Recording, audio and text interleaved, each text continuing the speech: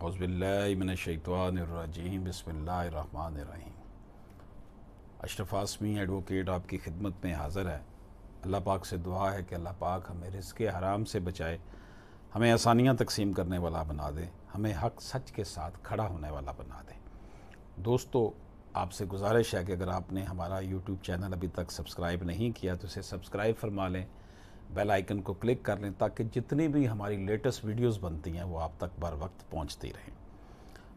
ہمارے سامنے ججمنٹ ہے G two zero double two L H C two one three six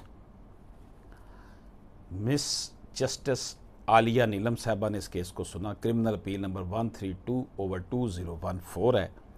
Nazir Ahmad Afzal versus state Lahore high court کا فیصلہ۔ اس میں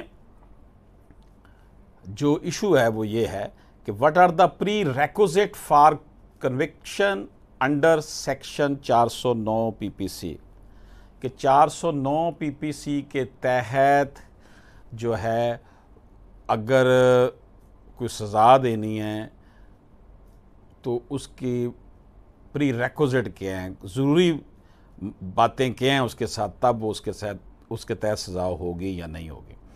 The appellant was tried by the learned senior special judge anti-corruption in respect of offence under section 409, 468, 471, 420, 109 PPC read with section 5247 of PCA and convicted under section 409 PPC and sentenced him to undergo imprisonment for 5 years with the direction to pay rupees 5 at 1 lakhs. As fine. یہ جناب شکیں جو میں نے آپ کو بتائی ہیں، اس کے تحت بندے کو سزا ہوئی پانچ سال کی اور ایک لاکھ روپے جرمانہ ہوا۔ Before a conviction under section four zero nine Pakistan penal code can be recorded the prosecution must prove firstly that accused person was government employee پہلے تو اس نے یہ ثابت کرنا ہے کہ یہ گورنمنٹ امپلائی تھا جس کے اوپر چار سو نو کے تحت سزا ہونی ہے۔ Secondly he was interested some kind of property in capacity of government employee دوسری بات جو اس کے اندر ریکوزٹ ہے پری ریکوزٹ جو ہیں، وہ یہ ہے کہ اس کے قبضے میں کوئی ایسی پراپرٹی تھی گورنمنٹ امپلائیز کی۔ And thirdly the factum of misappropriation of the interested article جو اس کے پاس امانت تھی۔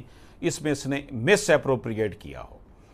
For conviction under section four zero nine P P C the factum of entrustment of property to government employee and its misappropriation must be prove چار سو نو اگر لگانا ہے پاکستان پینل کوڈ کا، تو اس میں یہ ثابت کرنا پڑے گا کہ اس بندے کے قبضے میں گورنمنٹ کی کوئی پراپرٹی تھی، کوئی چیزیں تھیں کوئی آرٹیکلز تھے اور اس کو اس نے مس اپروپریٹ کیا ہے، اس کو غلط استعمال کیا ہے۔